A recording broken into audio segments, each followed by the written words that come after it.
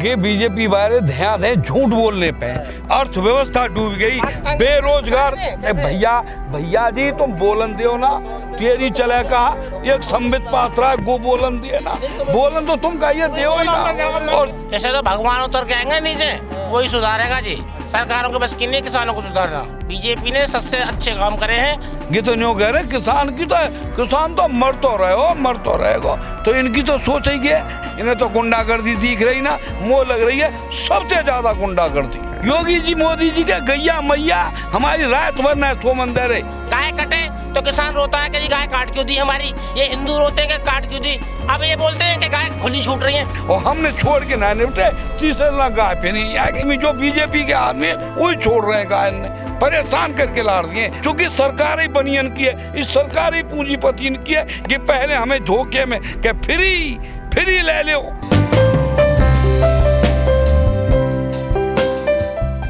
क्योंकि हम पहले से ही कहते चले आए कि बीजेपी के तो खिलाफ हैं सब। क्योंकि दुखी है। बीजेपी के तो सब खिलाफ हैं। अब देख रहे हैं सब के दौड़ में कौन आगा रहे हैं। है ना? बीजेपी के क्यों खिलाफ हैं आप? है बीजेपी खिलाफ है कि तो पता ना वाइजनाथ हम तो किसान आदमी है भाई। वाइजनाथ दुखी हैं। देख ले आज भी दुखी हैं। तो अब कानून वापस कर तो दिया आपके लिए? कानून वापस कर दियो आज भी मांगना है भैया का आपको एमएसपी की है गई? हाँ। कानून बनेगा एमएसपी को?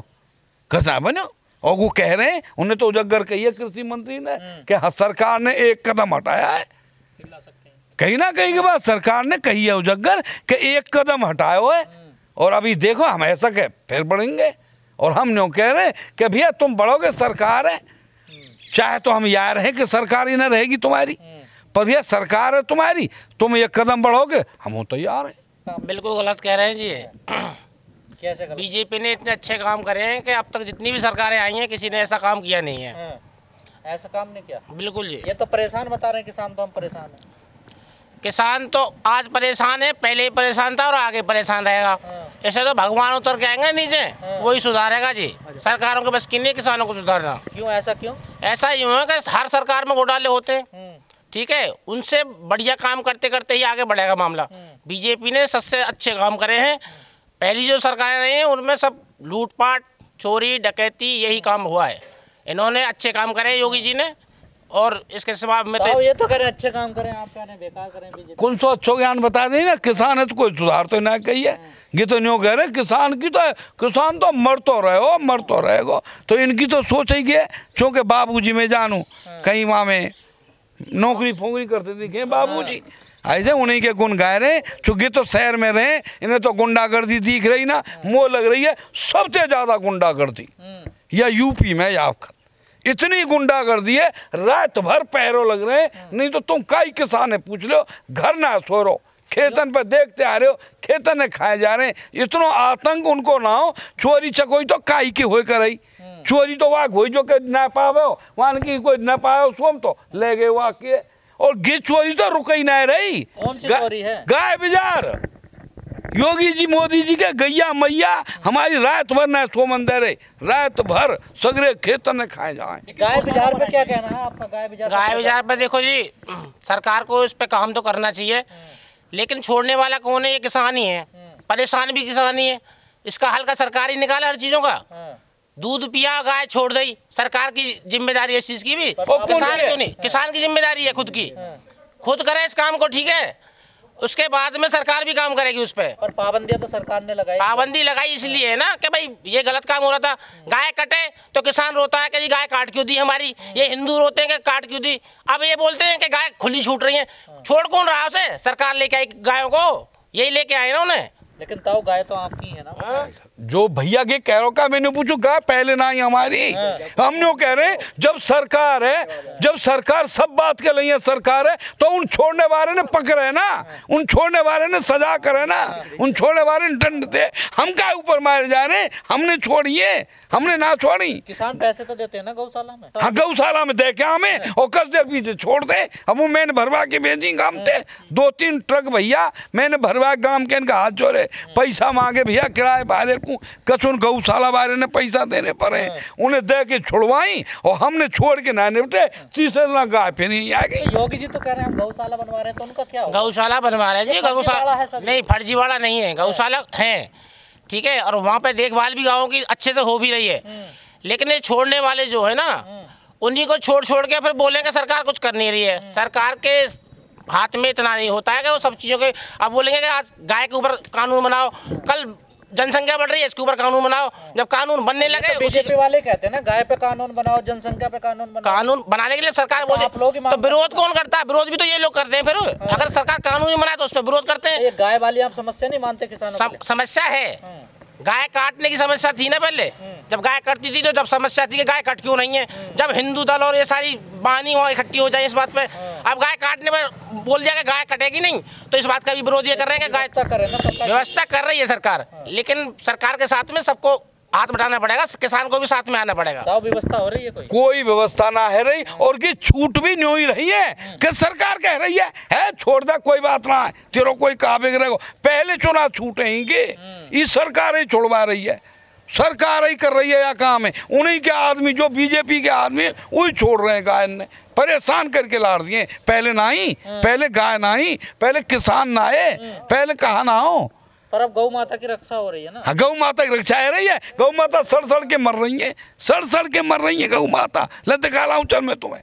रेज की इतने डंडा बाज रहा है। कोई पीछे से लठ बजा रहा है। बुरा हाल है। वहाँ ने कहीं ऐसे तिल तिल के मरने थे तो एक बार मर दिया वो ज़्यादा बेहतर है। तो इसका जिम्मेदार कौन है? यह जिम्मेदार सरकार। योगी सरकार। और का? सरकार। अगर मुँह पे गलती थे अपने में थे वहाँ में कर लियो ना वो डंडा लगो मुँह पे हाकत में जोड़ते।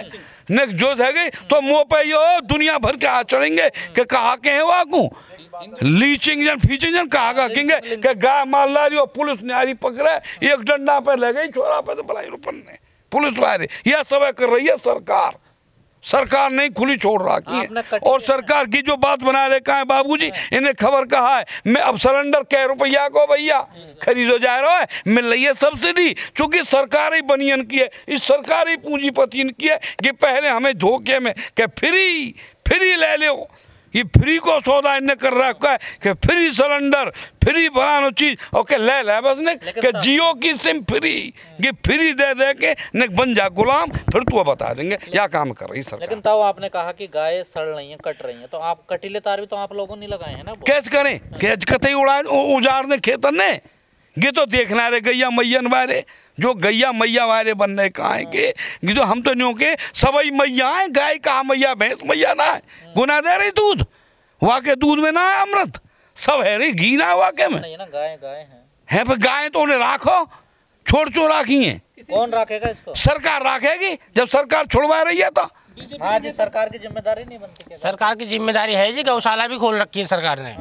और वहाँ व्यवस्था भी है। खेतों में क्यों है फिर ये? खेतों में इसलिए है कि खेतों में छोड़ने वाले यही है। गाय जाएगी कहाँ? इतनी गाय कहाँ से?